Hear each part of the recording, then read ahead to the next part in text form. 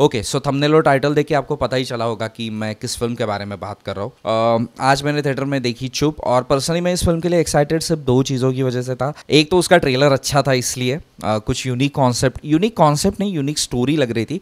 और सेकंड चीज़ थी कि ये फ़िल्म जो है ना ये आर बाल्की जी ने डायरेक्ट की है। आर बाल्की जी की जो लास्ट चार पाँच फ़िल्में थी ना उसमें से जो मेरी पसंदीदा फ़िल्म सिर्फ़ दो ही है चीनी कम और पा पैडमैन मुझे ठीक ठाक लगी थी। एक साइको किलर है, जो ऐसे क्रिटिक्स को मार रहा है, जो सही फ़िल्म को गलत रिव्यू देते हैं और गलत फ़िल्म को सही रिव्यू देते हैं। और इस केस पे जो ऑफिसर इन्वेस्टिगेशन कर रहे हैं ना, उनका कैरेक्टर सनी देओल प्ले कर रहे हैं सेकेंड हाफ़ में उनकी हेल्प में एक साइकेट्रिस्ट आती है, जिनका रोल पूजा भट्ट जी ने प्ले किया है। इनका ट्रैक साइड में चालू है, जहाँ पे सनी देओल जो है, वो इस किलर को पकड़ने की कोशिश कर रहे हैं। और दूसरी साइड में डुलकर सलमान का जो कैरेक्टर है, जिसका नाम डैनी दिखाया है, और उनकी जो लव इंटरेस्ट है, नीला, उनका कैरेक्टर श्रेया धनवंतरी प्ले कर रही है। अब देखिए, डैनी और नीला की लव स्टोरी का ट्रैक एक साइड में चालू है, एक साइड में सनी देओल के कैरेक्टर का ट्रैक चालू है। और हमको पता है, ये दोनों ट्रैक आके ना एक पॉइंट पे रुकेंगे, और वहीं पे हमको हमारे फ़िल्म का कंक्लूजन मिलेगा। अब देखिए, मेरे हिसाब से ना दो टाइप के थ्रिलर होते हैं। एक थ्रिलर ऐसी होती है, जिसमें ऑडियंस जो होती है ना, उन्हें पता होता है कि एक्चुअल स्टोरी में कल्प्रिट कौन है और फिर वो ना फ़िल्म में वो जो हीरो और वो जो कल्प्रिट है, उन दोनों का जो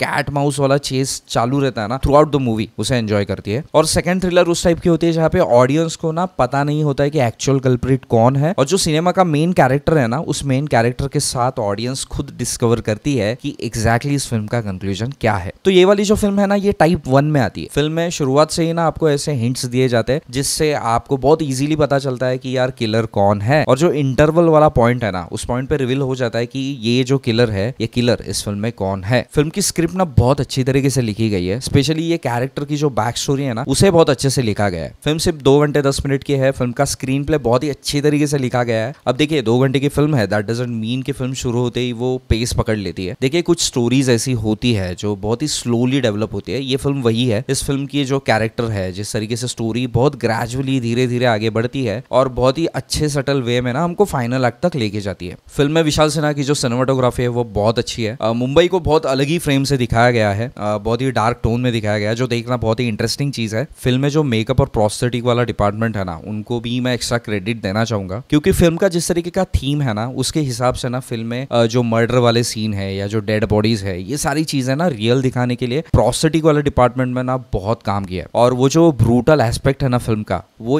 इंटैक्ट रखने के लिए ये पर्टिकुलर डिपार्टमेंट का भी उतना ही हाथ है। अब देखिए, आर बाल्की का डायरेक्शन हम सबको पता है कितना अच्छा है। मतलब अगर उनको अच्छी स्क्रिप्ट मिल जाए ना तो उसको निचोड़ के वो एक अच्छा आउटपुट आराम से निकाल लेते। हैं गुरुदत्त जी की जो पुरानी फ़िल्में हैं, उनके जो गाने इस फ़िल्म में यूज़ किए गए हैं, वो जिस तरीके से यूज़ किए गए हैं, वो देखना बहुत इंटरेस्टिंग है। फ़िल्म के जो डायलॉग है, वो बहुत अच्छी तरीके से लिखे गए हैं। हर एक सीन को, वो डायलॉग जिस तरीके से कॉम्प्लीमेंट करते हैं ना, वो काबिल तारीफ़ है। फ़िल्म में जो परफॉर्मेंसेस है, वो सबकी टॉप नॉच है। सनी देओल का परफॉर्मेंस बहुत ही सटल है, बहुत ही काम है उसके बाद Pooja Bhatt. I don't know उनकी एज क्या है but that lady is like a fine wine man Shreya Dhanwanthary. देखो, इसके पहले ना मैंने उनको सपोर्टिंग रोल में बहुत देखा है। Scam 1992 family man season one लेकिन इस फ़िल्म में पहली बार मैंने उनको लीड रोल में देखा है। हर एक सीन में she is just stand out so बात करते हैं डुलकर सलमान की। देखो, डुलकर सलमान जो है ना, वो प्रीडोमिनेंटली मलयालम इंडस्ट्री में काम करते हैं। मैं जस्ट आपको इतना बोलूँगा कि अगर डुलकर सलमान की जो टॉप थ्री बेस्ट परफॉर्मेंसेस अगर गिनी जाएगी ना तो आई एम प्रिटी श्योर कि ये वाली परफॉर्मेंस उस लिस्ट में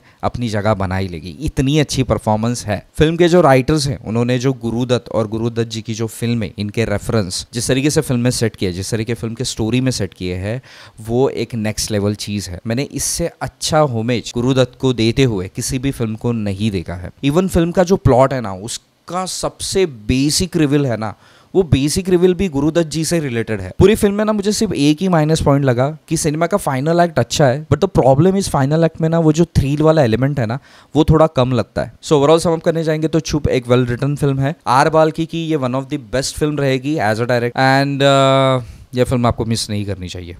सीरियसली सो so, दोस्तों अगर ये वीडियो आपको पसंद आया तो प्लीज़ इसे लाइक कीजिए शेयर कीजिए। अगर आपने फ़िल्म देखी है तो मुझे कमेंट करके बताइए और चैनल को सब्सक्राइब कीजिए। हम मिलते हैं अगले वीडियो में।